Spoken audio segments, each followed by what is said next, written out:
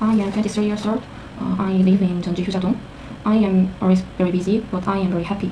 I work in a bakery cafe of Paris Baguette in Hyojadong from Monday to Thursday. I has I have another job. I am a student.